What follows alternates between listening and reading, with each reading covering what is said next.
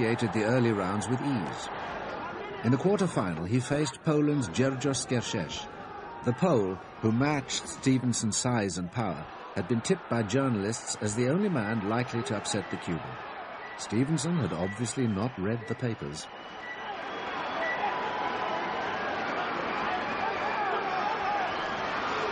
Skrzecz was a brave opponent, but Stevenson, perhaps relishing the prospect of a real battle, was in devastating form.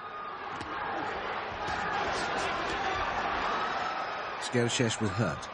Both his wife and the referee had seen enough, and Stevenson was through to the semi-finals.